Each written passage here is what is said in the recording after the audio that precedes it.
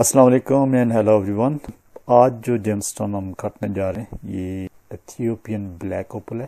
جیسا کہ آپ دیکھ سکتے ہیں، یہ تھوڑا سا اس کا نظر آ رہا ہے۔ یہاں پہ باقی تو جو سٹون ہے، یہ اس کے اوپر جو ایک لیر ہے ریتلی سی اور مٹی کی لیر ہے۔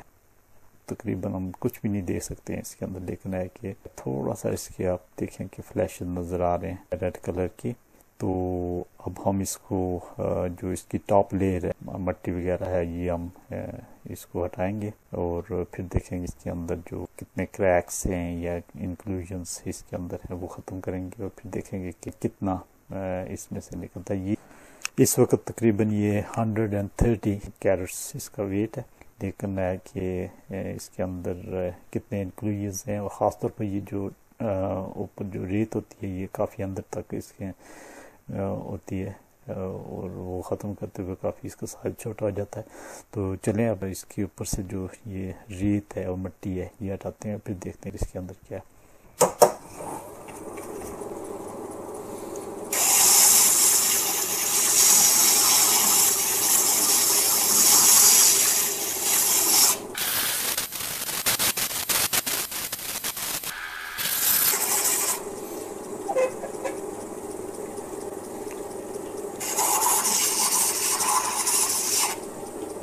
اچھا تو یہ کاٹتے ہوئے یہ اس طریقے سے یہ دو اس میں کریک تھا اور یہ دو حصوں میں یہ تقسیم ہو گیا۔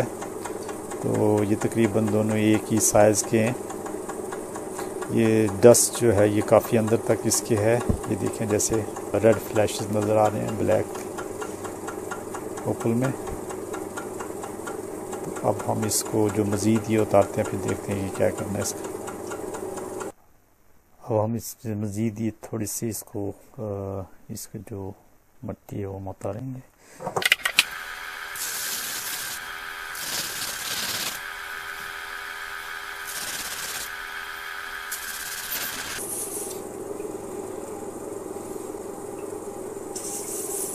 اس کو ہم نے اس طریقے سے پری فارم کر لیا۔ اس میں کافی یہ دیکھیں کہ کافی اندر تک یہ اس کی ڈسٹ جو ہے وہ ہے۔ اور اس کو کلیئر کرتے ہوئے اس کا سائز کافی چھوٹا ہو جاتا ہے۔ تو اس طریقے سے میں اس کو پری فارم کر رہا ہوں۔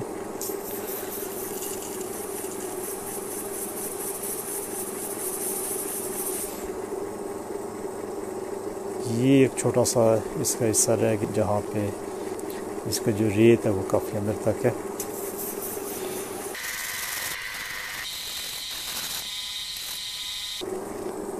اچھا اب اس کا کچھ شیپ ایسی ہے سٹون کی کہ میں چاہ رہا ہوں کہ اس کو میں ہارڈ شیپ میں کاٹوں، کہ دل کی شکل کا جو ہے وہ اس میں سے نکالوں، چونکہ اس کی کچھ سائز اور کچھ شکل ایسی ہے۔ تو یہ میں نے اس پہ، یہ مارک کر لیا ہے۔ ہاتھ سے بھی کر سکتے ہیں، اگر آپ چاہیں تو یہ ٹیمپلیٹ جو ہے نا وہ یوز کر سکتے ہیں۔ اچھا اب ہم نے اس کو اس سٹک کے ساتھ گلو کر لیا تو اب مزید اس کی جو شیپ ہے وہ اس ہارڈ شیپ میں چینج کریں گے۔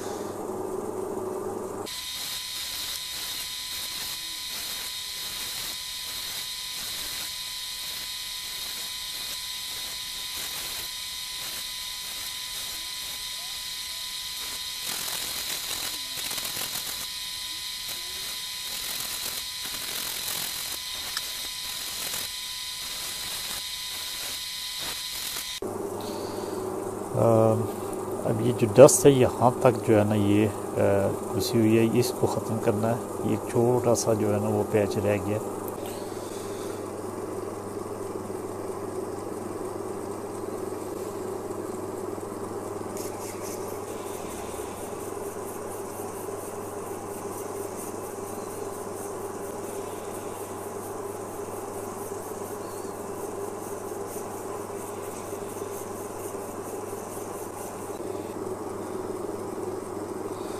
اچھا یہ میں نے اس کو تھوڑا سا وہ پیئر شیپ میں جو وہ کاٹ رہا ہوں، تھوڑا سا چینج کیا میں نے اس کو، تو چونکہ یہ کافی اس میں سائز وہ کم ہو جائے گا۔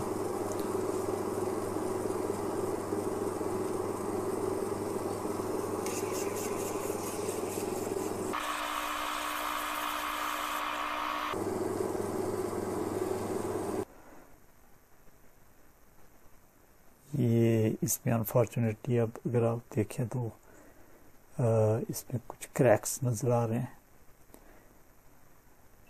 تو یہ کافی کامن ہے ایتھوپین اوپل میں کہ یہ اس میں کریکس جو نمودار ہو جاتے ہیں تو اب اس کو میں ری کٹ کروں گا اور اس کا سائز کافی چھوٹا ہو جائے گا لیکن ہے کہ مجھے ری کٹ کرنا پڑے گا تاکہ وہ کریکس جو ہیں وہ ختم کر سکوں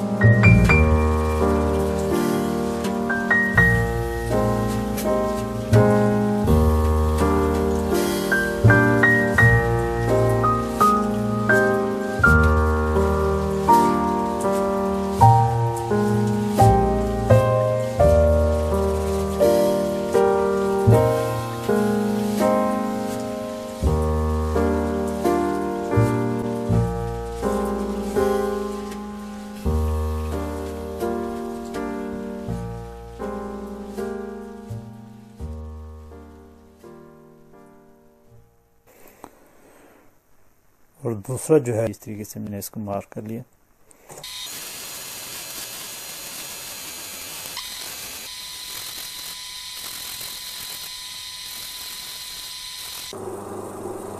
یہ یہاں پہ ایک چھوٹا سا یہاں پہ ڈسٹ کا ایک سپاٹ رہ گیا۔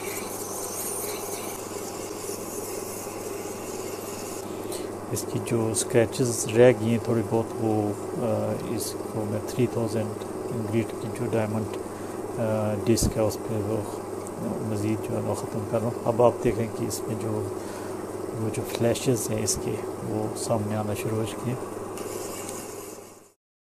تو ناظرین، یہ تھی ہماری آج کی ویلاگ جس میں ہم نے ایک بلیک اوپل کو جو کہ دو حصوں میں تقسیم ہو گیا تھا، اس کو ہم نے دو ڈفرینٹ جم سٹون میں کاٹا۔ تو امید ہے کہ آپ کو یہ ویلاگ ضرور پسند آئے گا اور چینل کو ضرور سبسکرائب کر لیں تاکہ جو آئندہ آنے والی ویڈیوز ہیں جس پہ میں کافی جو ڈفرینٹ طرح کے جیم سٹونز ہیں وہ کاٹوں گا اور وہ کافی انٹرسٹنگ ویڈیوز ہونے والی ہیں اور آپ کمنٹ سیکشن میں ضرور اپنی رائے سے مجھے آگاہ کیجیے۔ یہیں پہ ہم اس ویلاگ کو ختم کرتے ہیں۔ نیکسٹ ویڈیو اللہ حافظ۔